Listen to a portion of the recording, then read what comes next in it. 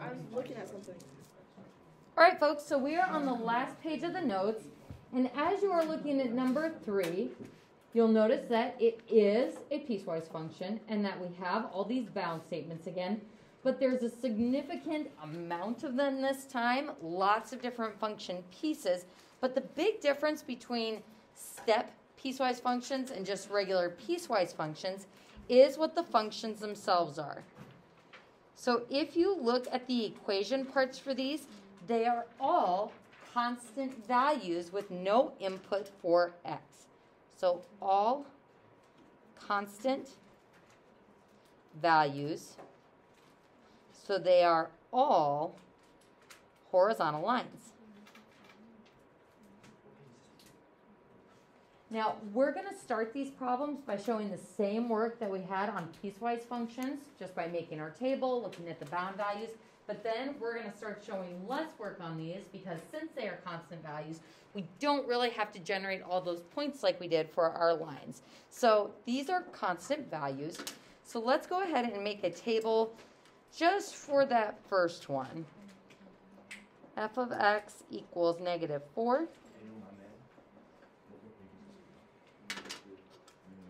and f of x equals negative 3. We'll maybe show two tables of work so that maybe you can start to see the patterns on this one.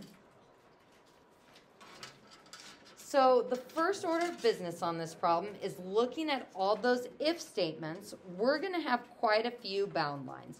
We'll have one at negative 7.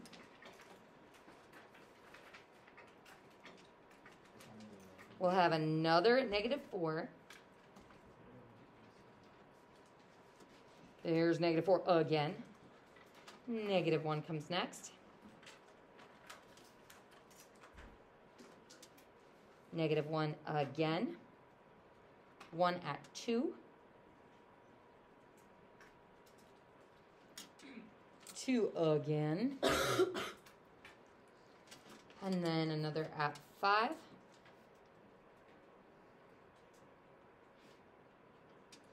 Five again.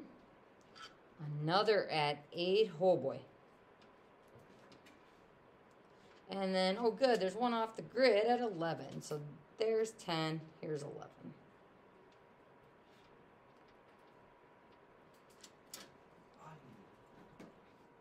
That's a lot of bound lines.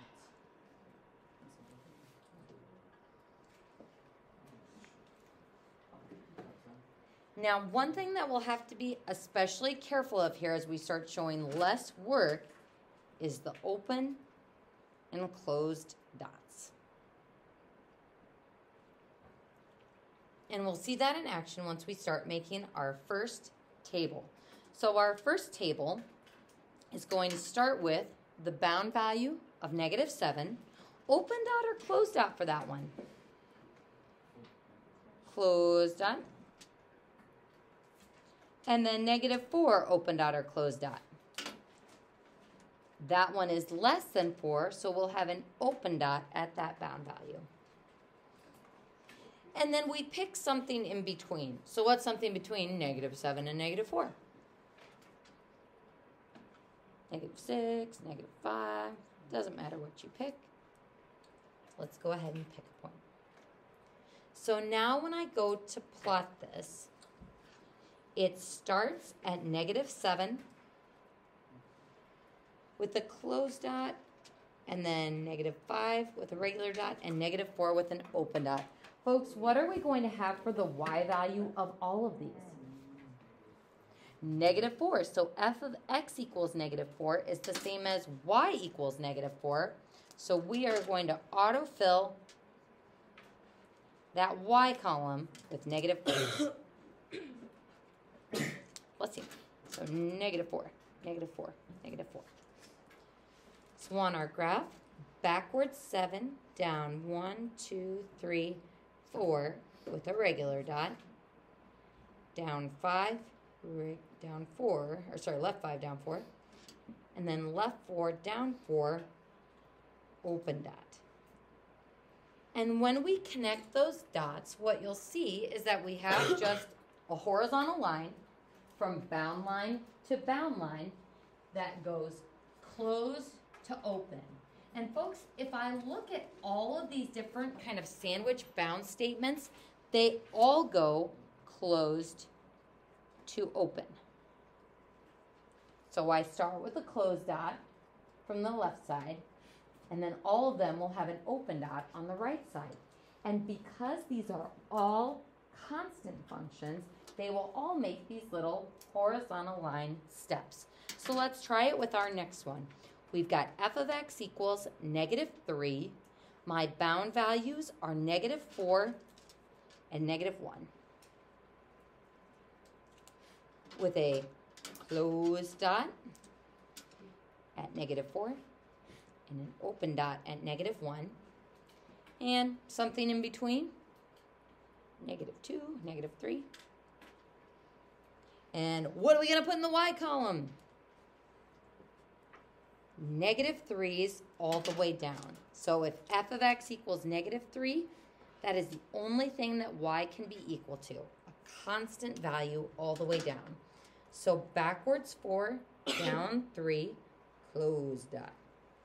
Backwards 2, down 3, close dot. Backwards 1, down 3, open dot. So folks, if you don't want to do the shortcut, you can literally make a table for every single constant part of this function. But what you're going to find is that the shortcut does make it a bit more efficient because all of these are going to be horizontal bars that go from closed to open with their dots. So folks, we're going to try to attempt the next part of the table, or sorry, the next part of the piecewise function without using a table. So first it says f of x equals negative 2. Where is my horizontal step going to be? At a y value of negative 2. The step goes from closed to open, bound line to bound line. So I find that y value of negative 2, and then I go close to open between the bound lines and connect those dots. And there's my step. And I didn't have to make the whole table. Looking at our next piece, this one is going to be a step at negative 1 because that's what would autofill the y values. So we go to negative 1, which is right here, we go to our bound line at 2, close dot. Our bound line at 5, open dot. And all those values in between will have a y value of negative 1. And again, if you're like, nope, I'd rather make the tables, you go for it. You make those tables. Moving on to our next function piece, we'll have a y value of 0. So here I am sitting on the x-axis. Our first bound line is at 5 regular dot because of the less than or equal to, and then to our other bound line with an open dot. Connect those dots and we have made our step. Let's go ahead and do our last one. f of x equals 1. So here's my y value of 1. We start at the bound line at 8, closed or opened up close dot. And we go all the way to the bound line at 11 and make the step. And we have now made that piecewise step function. How many of you think you'll probably still make the tables for these? How many of you like the shortcut? All right, good to know. Let's go ahead and, um, folks, that is the last problem in the notes. Give yourself a high five. Hooray. And we are going to go back to the guided practice for one last time.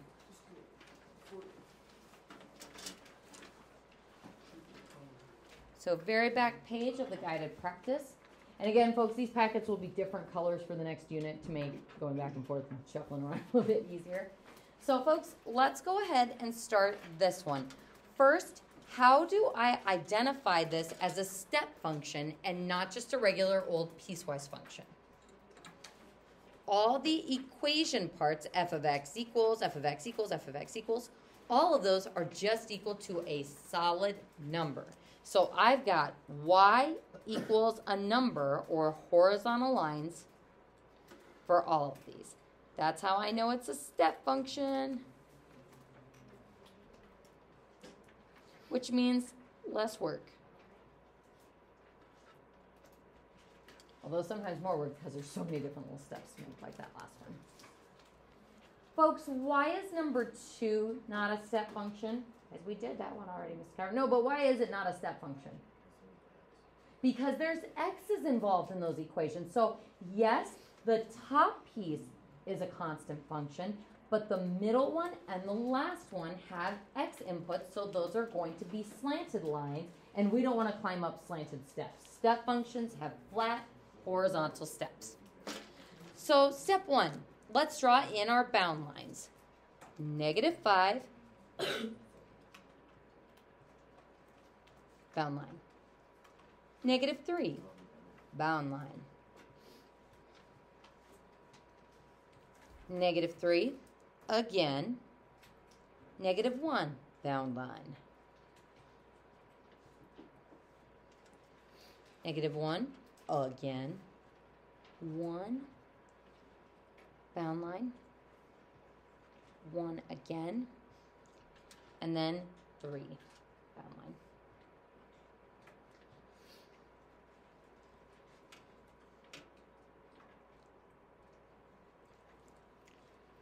Now, before we start drawing in our steps, the only thing we're really losing out in the tables is the closed dot and open dot. But all of these steps will go bound line to bound line. So let's start there and say, are my steps going to be going closed to open or open to close? Closed to open. So I'm going to go ahead and just draw this, that it goes from closed to open and I can see all those less than or equal to stacking up, all those less than stacking up. So every step will go from closed to open because it's really easy to forget about those open dots when you are doing those steps. But remember, without the open dots, those aren't going to be functions anymore because you'll have two closed dots stacked on top of each other and then it fails the vertical line test. So let's go ahead and start with our first step. We've got f of x equals negative 1. So I'm going to go to a y value of negative 1 and start at my bound value of negative 5, which is right here, with a closed dot. Then we'll have an open dot at my next bound line and a step in between. Try the next step on your own.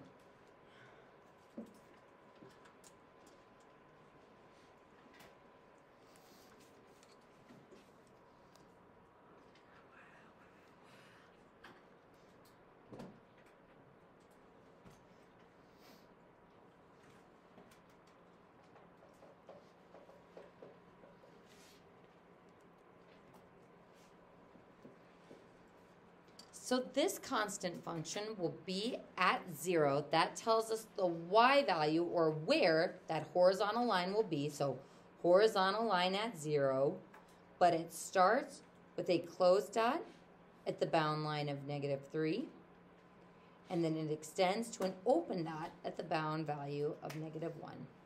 And don't forget to actually draw the step in between, otherwise you just have two floating dots. We need to show that they are connected by that horizontal line. Let's go ahead and do the next one. f of x equals 1. So here's my y value of 1, but we start with a closed dot at negative 1, and then an open dot at that bound line at positive 1. Our last happy step that we have, f of x equals 2. So where's my y value of 2? Right here we start with a closed dot at 2. This pen does not work. Close value at 2. And then we extend 2, 3.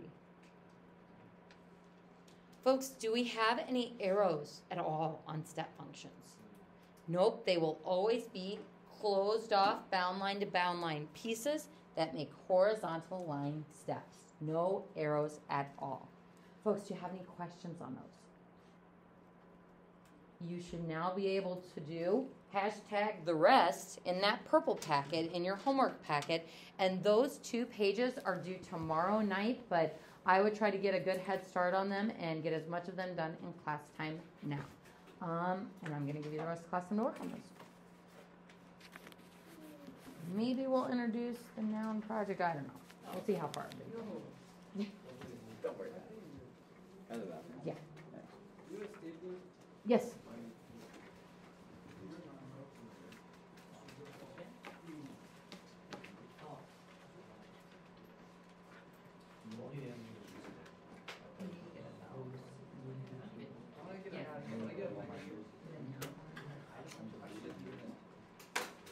the bathroom.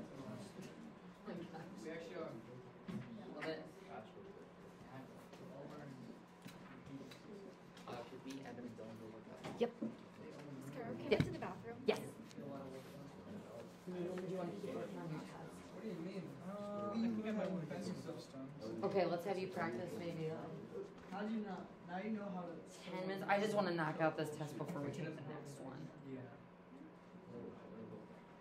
I'll set a clock, I'll set a timer for ten minutes and then I'll bring it back in. You could have gotten. My phone won't work. Let's go. It was a headlock. Ten. It was a headlock. I went like this. I never I did. That's so mean. It's so. I hate that shit. I can't breathe. So what's everybody doing for character day tomorrow? The entire school is doing 50 cent. Everybody?